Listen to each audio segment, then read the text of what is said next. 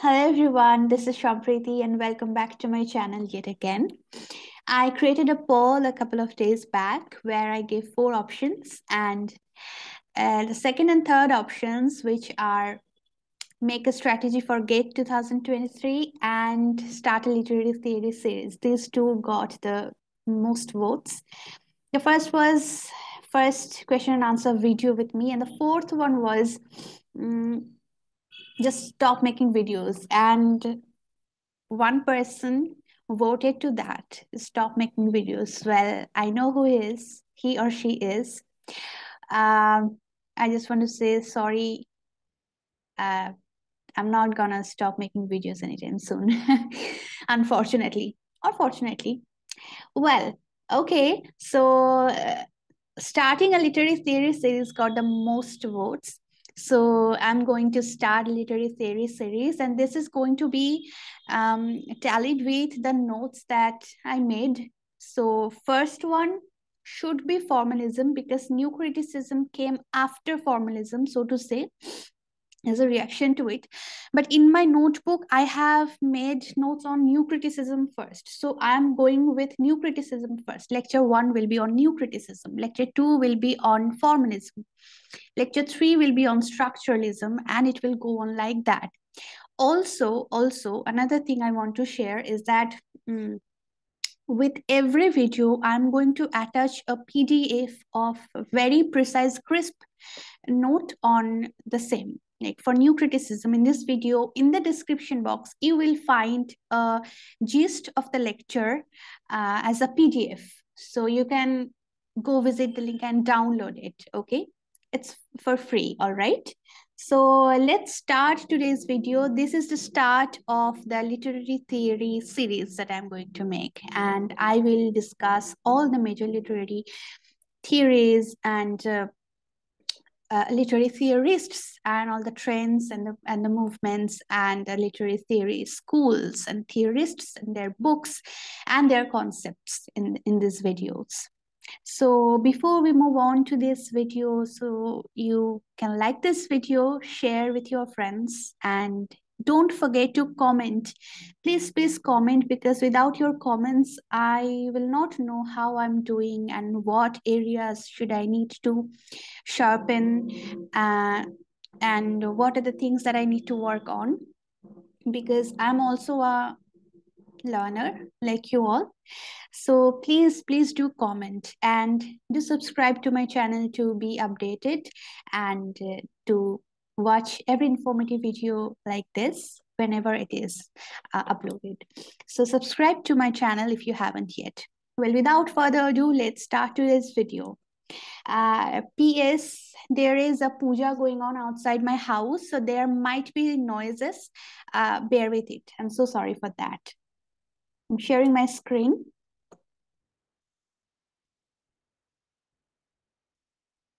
All right.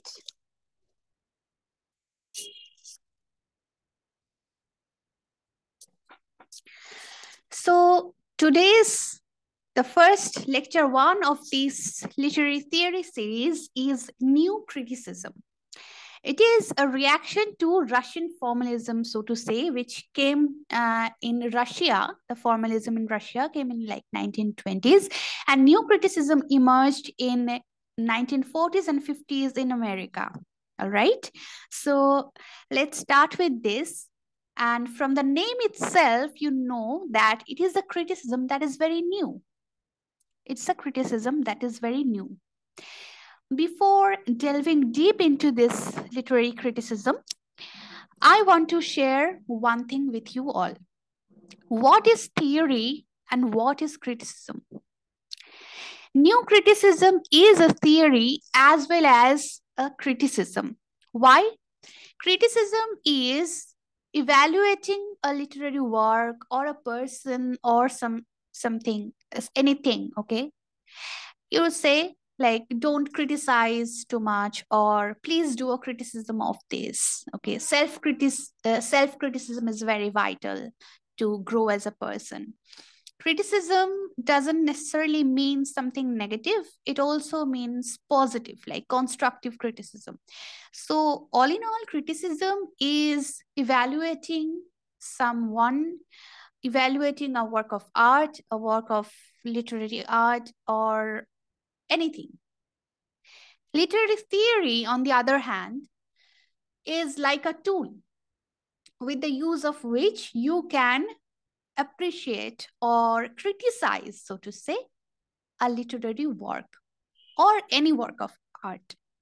So, literary theory is a tool wherein literary criticism is a process. I hope it is a little bit clear to you all because literary theory and criticism, this is a very vulnerable uh, area for all the NET set GET aspirants in English literature. They are very scared of it. And I assure you that after I take these classes, your um, fear will go a little bit, go away a little bit. Okay, so let's start.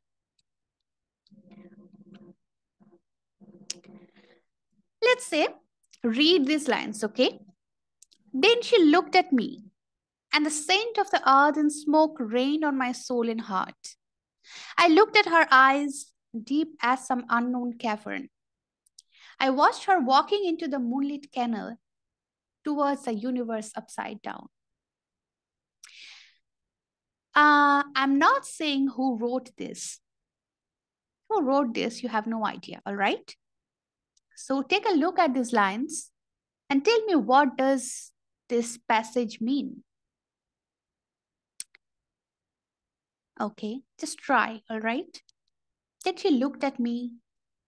We know that the author or the poet, whoever is writing this, is talking about a woman who looked at the author, the narrator, and scent of the earth and smoke rained on my soul and heart. The language is very poetic.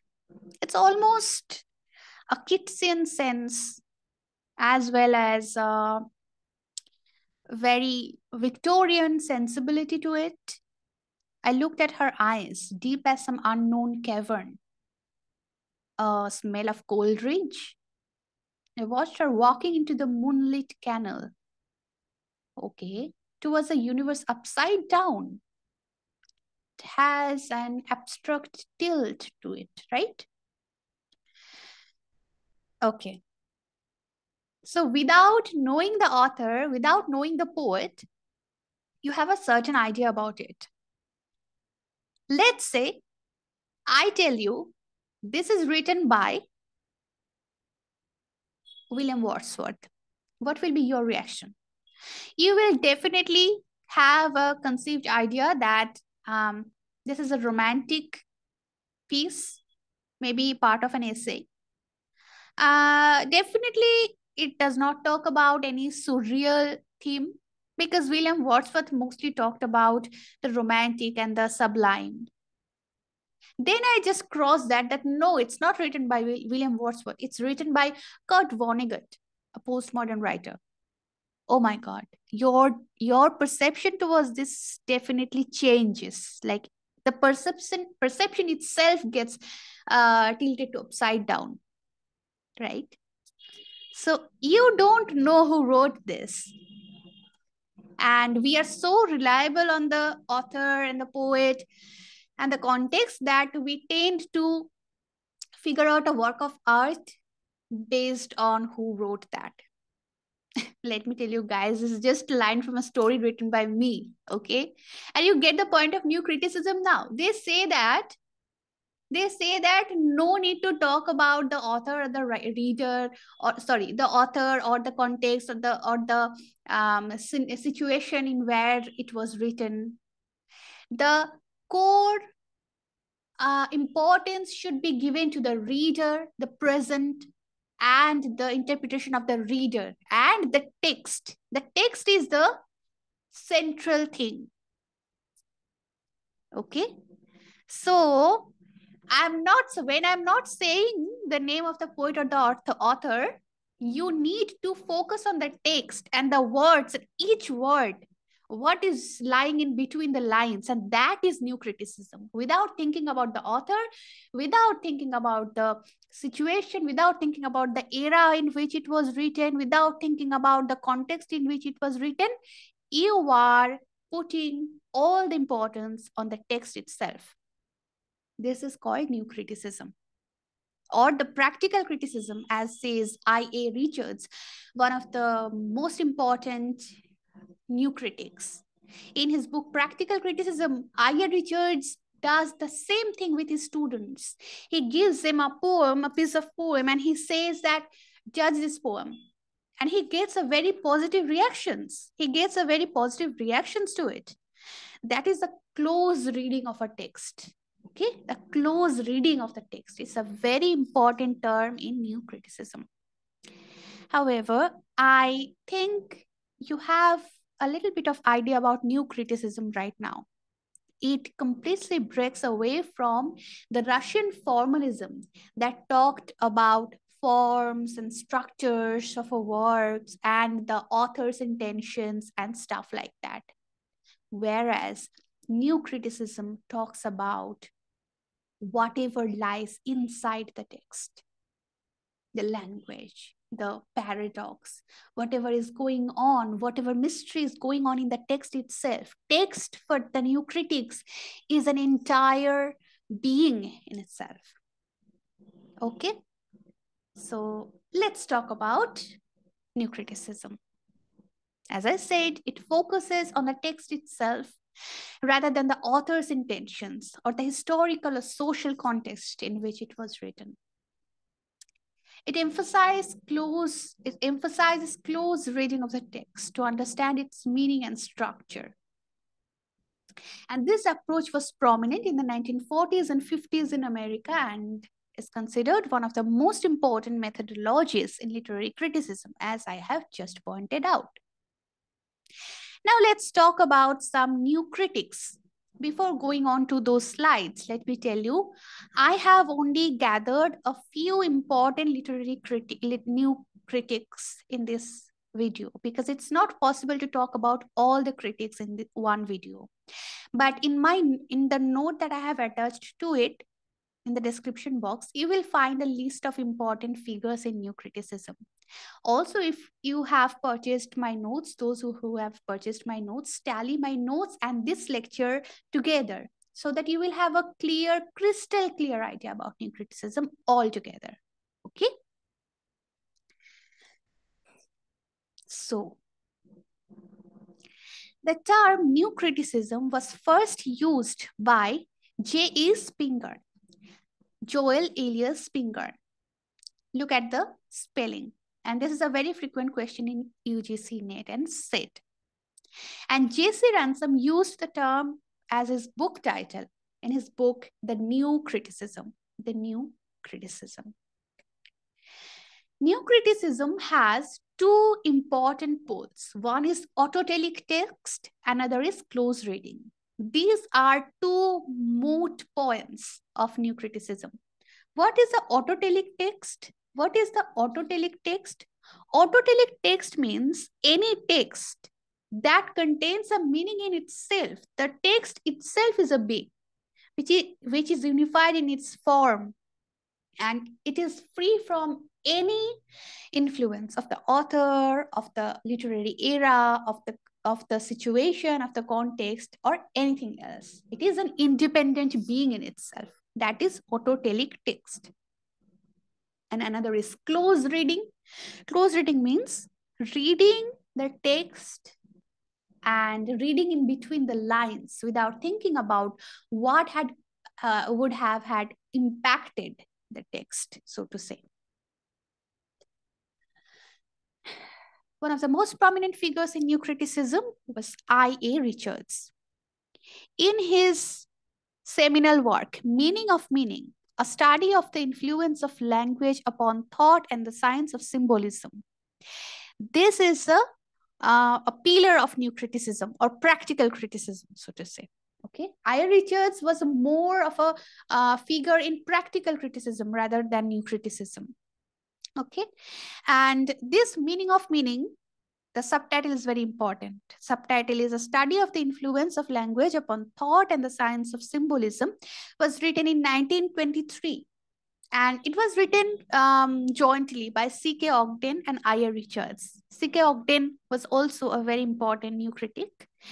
and uh, later, C.K. Ogden and I.A. Richards uh, founded one uh, school that is called BASIC, B-A-S-I-C, which is also the acronym for British American Scientific International and Commercial English. This has come in UGC NET exam multiple times, okay? Basic, basic English, a general introduction with rules and grammar, a 1930 book written jointly by I.A. Richards and C.K. Ogden. And the full form of basic is British American Scientific International and Commercial English. Again, I'm saying, guys, it's not possible to include all this information in one video. So just refer to my lecture and note it down. And if you have my notes, then you have nothing to worry because all these things are written there. You will get them there. Now, in the book Meaning of Meaning, this structure is um, discussed by I. Richards. That is called that is called the triangle of reference. The triangle of reference, a triangular relation among thought, symbol, and referent.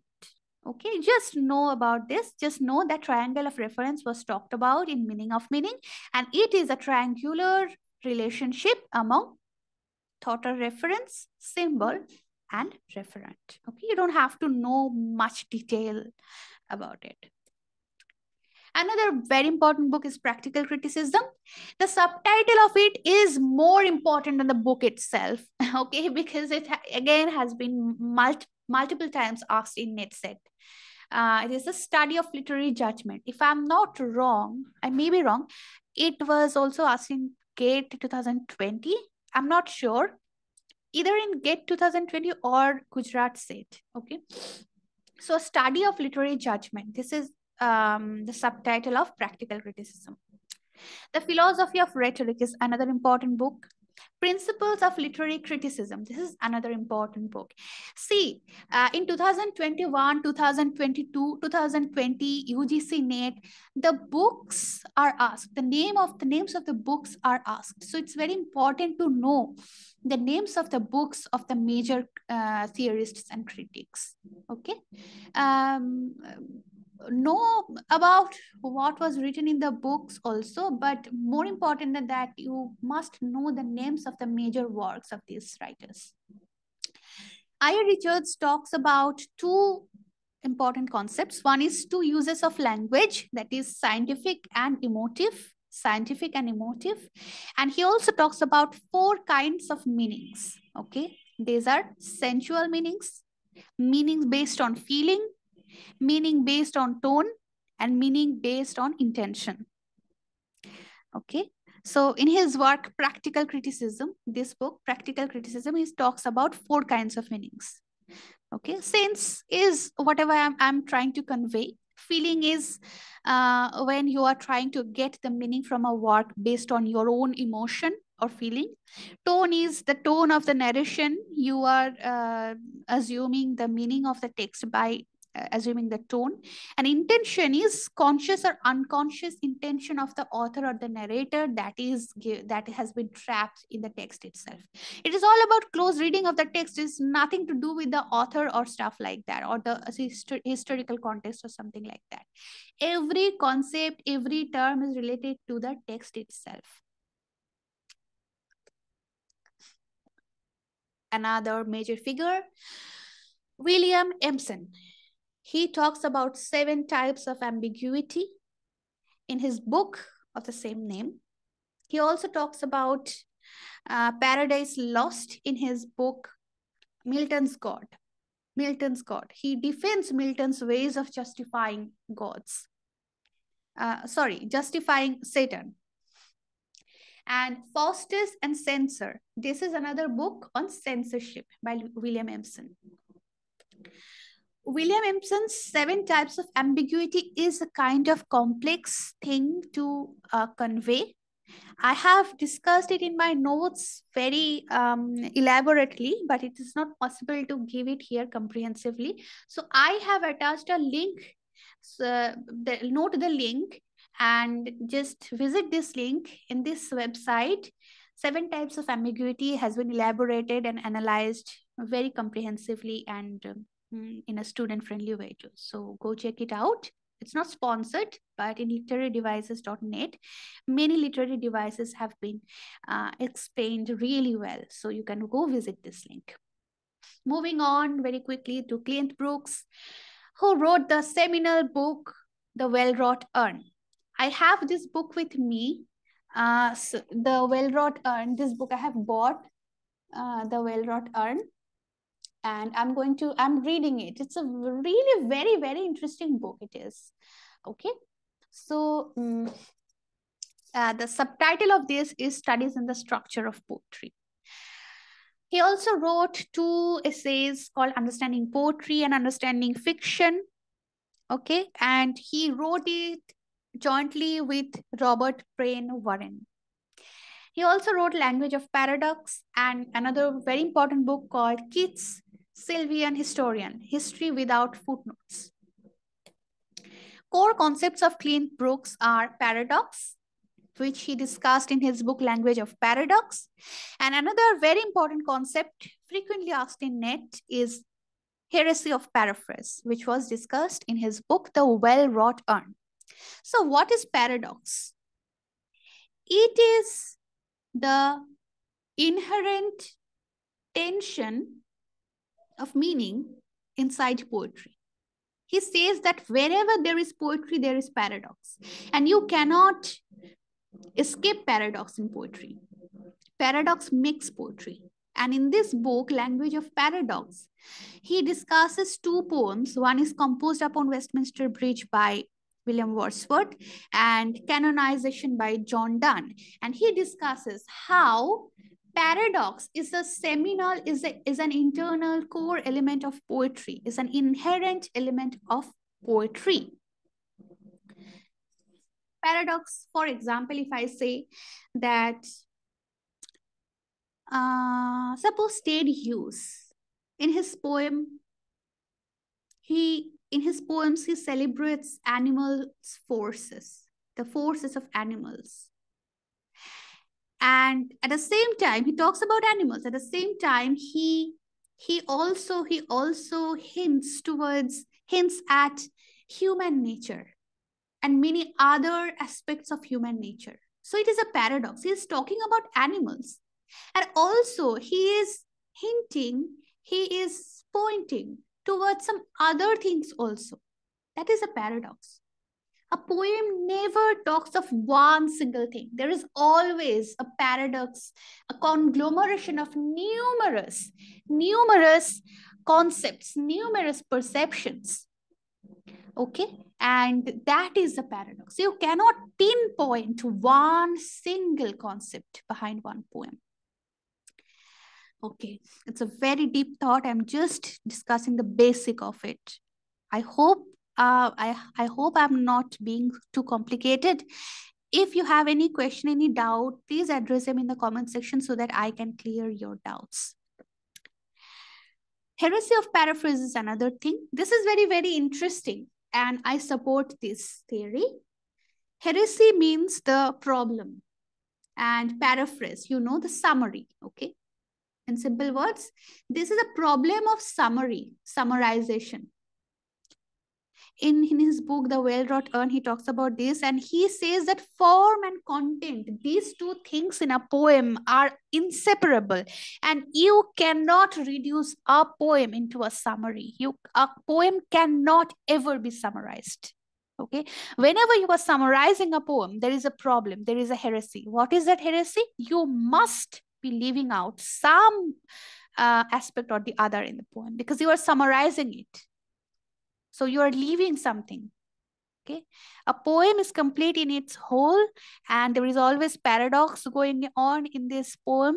And when you are summarizing it, you are neglecting the paradox, and thus you are making a heresy. That thus you are generating a problem. F.R. Leavis, you know, he was associated with the American School of New Criticism, and uh, he was um, in support of the high culture and he was the one who who um, you know who put much emphasis on the moral purpose of one work. He was the one critic who mm, put a lot of emphasis on moral purpose. In his book, The Great Tradition, in his book, The Great Tradition, he talks about four great novelists Jane Austen, George Eliot, Henry James, and Joseph Conrad to be the greatest pillars of English literature and later he also adds D.H. Lawrence. He, for him, Charles Dickens was really um, a standard novelist, but he lacked mature standards and interest to a certain extent, except in Hard Times. So only Hard Times by Charles Dickens was appreciated by F.R. Leavis, but all the other works of Charles Dickens were, were uh, not appreciated. 1948 was a year when the Great Tradition book was published. It's a very important date to remember that. In uh, his another influential book that is called New Bearings in English Poetry. You can very well imagine that 1932, well, we are doing a paradoxical thing here. We are studying new criticism where they are completely neglecting the context and historical era in which the works are written and we are kind of trying to i am kind of trying to give you an idea in which age it was written just to give you some idea about the content of it. Mm, okay. Just pardon me mr F.R. Leavis and all the other new critics okay. So new bearings in english uh, poetry it was written in the modern era. 1930s it was written in 1932 yes it was written in 1932 and it this book is a study of the contemporary situation the, the subtitle of the book is a study of the contemporary situation and in this book F.R. Leavis attacked some Victorian poets like um, um, the Victorian poets like Tennyson and other uh, Browning, Okay. And he discussed the importance of some Victorian poets tilting towards a modernist um, uh, modernist trends like Eliot, Ezra Pound, G, uh, Jim Hopkins, etc. Okay. Uh, New Bearings in English Poetry, a question about this book was asked in UGC in 2021. So it's very important from NET point of view. Remember that. Now, another very, very important uh, aspect of new criticism is our intentional fallacy and affective fallacy discussed by Wimsatt and Beardsley, who in their uh, seminal work, Verbal Icon, the um, studies in the meaning of poetry, published in 1954. Um, there were two controversial papers published by them uh, but they were published before. Uh, in 1946, intentional fallacy was published, and in 1941, affective fallacy was published. Intentional fallacy is when we put too much importance on the intention of the author. That is a fallacy because uh, that that is barring us from know from from knowing what is exactly what is actually um, there in the poem or the literary work because we are putting too much importance on the intention of the author. That is called intentional fallacy. And affective fallacy is when we are putting too much in, uh, importance on the effect the literary work has on the on the reader.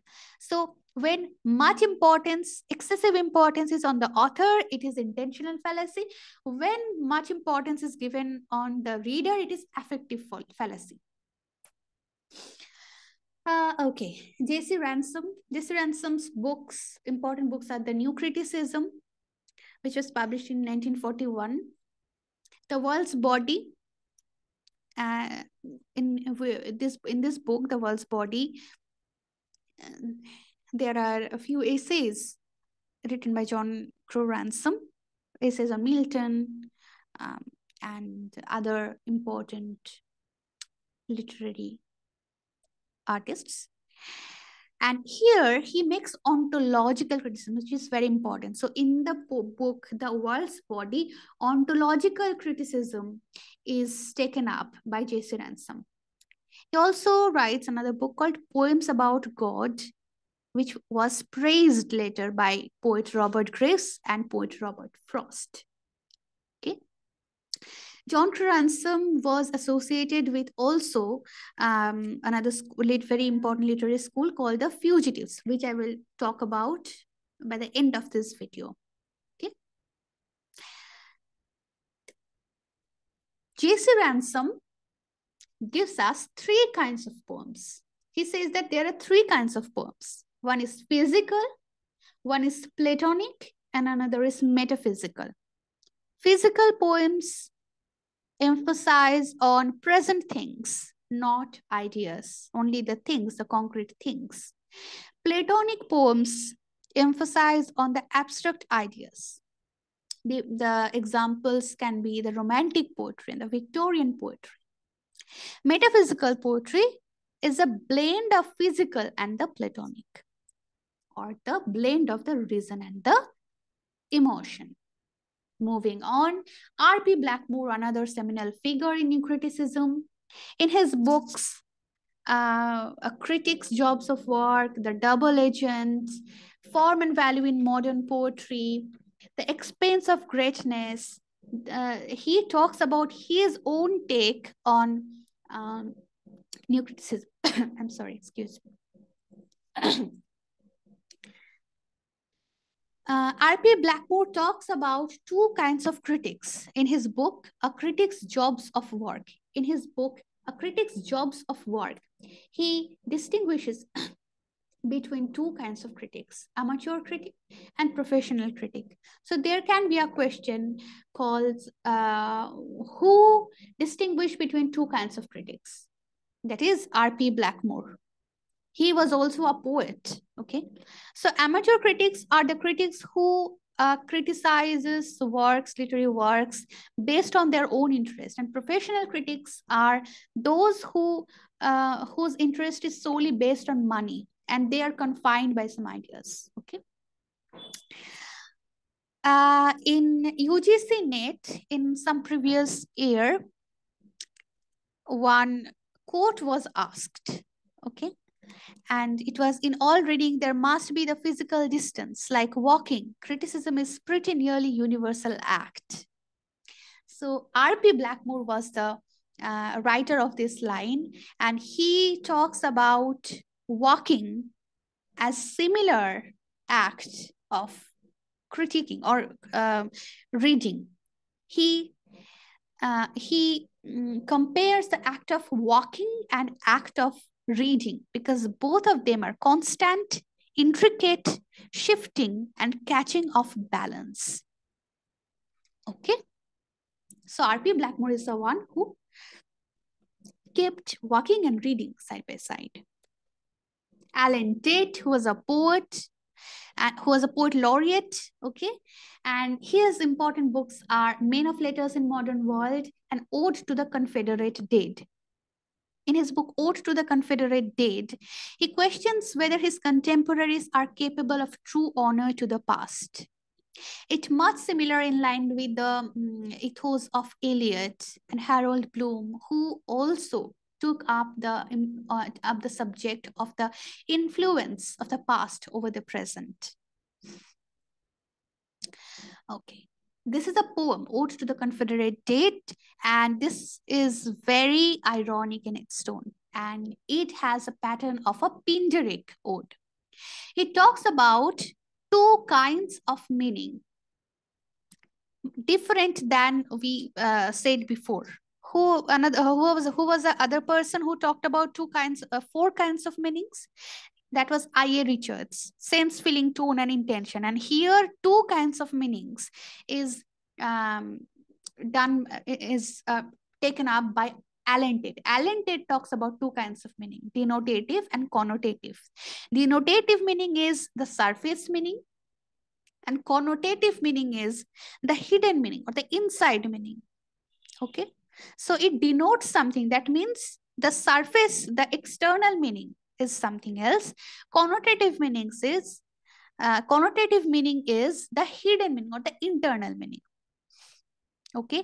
And he says the true poetry is the one The true poetry is a literary work that has a complete balance, that has a complete, uh, complete sort of, um, what should I say, combination of denotative and connotative meaning.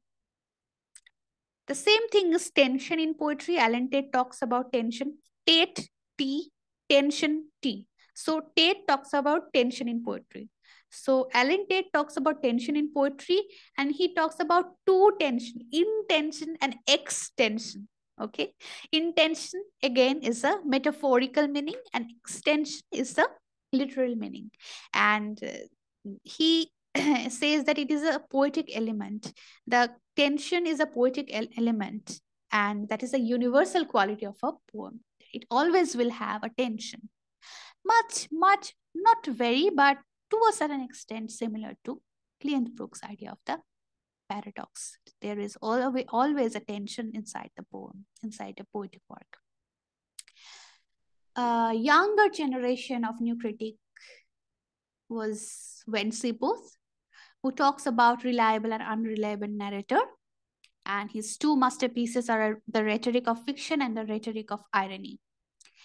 Last but not the least, I'm talking about two important schools of new criticism. There were two schools. One was New Aristotelians, were also called um, Chicago critics, Chicago School of Criticism. And uh, this school was established by the professors of the Department of Humanities of uh, the University of Chicago. And they attempted to revive the humanities and make them institutionally more competitive with the sciences. The most prominent figures are R.S. Crane, Elder Olson, Richard McKeon, Norman Maclean, Bernard Weinberg. Wency Booth was a second generation Chicago critic. Okay. Elder Olson was the one who wrote the theory of comedy and R.S. Crane was the founder. R.S. Crane was the founder of the New Aristotelian School. The name of the manifesto of New Aristotelians were Critics and Criticism, Ancient and Modern. In 1952, it was published, and that was like the manifesto. Okay, the manifesto of this school, Critics and Criticism, Ancient and Modern. That was a subtitle. Ancient and Modern. It was a subtitle. Another school was Fugitives, also known as the Agrarian School of Poetry, also known as the 12 Southerners, Vanderbilt Agrarians, Nashville Agrarians, Tennessee Agrarians, Fugitive Agrarians, Southern Agrarians. Okay, many names. The unofficial leader of this school was John Crowe Ransom, most prominent members were John Crowe Ransom and Robert Penn Warren. And the manifesto of this school was I'll Take My Stand. Subtitle The South and the Agrarian Tradition. It was written, published in 1930. The members, some of the members were Donald Davidson, J.C. Ransom, of course, Allen Tate, Weaver, and Robert Penn Warren, and many more. So that was new criticism the essence of new criticism for you all. You will get one PDF in the description box that I have made for you all. It's a very brief idea of the lecture. And you can take a uh, you can download that for free and you can take a printout if you want. Also note down all the important things that i have discussed. And do not forget to comment. Please do comment. I will expect you all to comment and please subscribe to my channel for more contents like this like this video share this with your friends and also if you are interested in knowing more about literary theory and criticism in a crisp way you can give me um, you can comment or you can drop me an email to have my notes that got me my JRF. This destination a crisp and student friendly guide to I'm sorry there is a typo to NETS at JRF get in English. Thank you so much for watching and uh, thank you so much. The lecture two will come very soon. Don't forget to let me know how you like this video. Uh, if you have any doubts, any questions, any queries like that, address them in my comment section. And well, I hope this series gets successful and I hope I was able to help you a little bit. if not much. So thank you so much. See you in my next video.